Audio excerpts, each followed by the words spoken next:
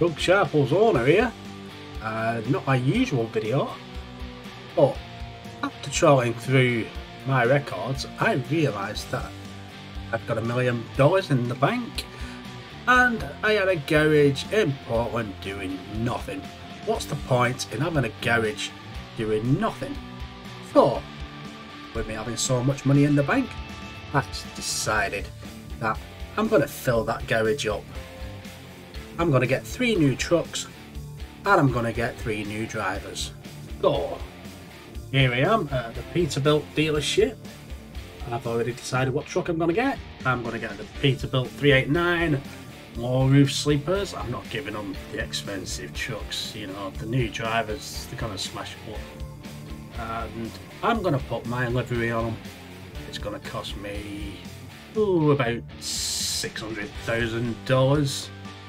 So, these three new drivers had better take care of these trucks. This salesman squealing all his gubbins at me. I know what I want. I know what I'm getting. There's no need to carry on with it. You know, they're just gonna try and sell me bigger upgrades and everything, but I'm not having it. I am buying these trucks, no matter what he says.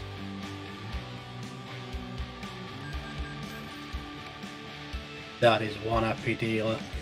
He's just reassured me that these three trucks will be delivered to my garage at Portland ASAP.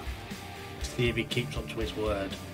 Now, let's see if we can get these new drivers and see what they're like.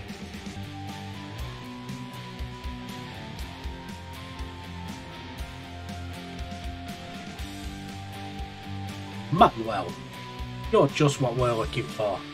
You're hired, welcome to the company. It's a brand new truck, take care of it. I don't want to see any scratches, any dings on it, or you're out the door. Magnus, you're the best of a bad bunch. But you've got something about you. You're hired. Welcome to the company. Then applies, new truck, no accidents, no dents, or bye bye. However, I have to show some equality. You're hired. Welcome to the company. Please take care of my new trucks. Them applies, new truck, no accidents, no dents, or bye bye. Three new trucks, three new drivers. Get out there, make me some dollars.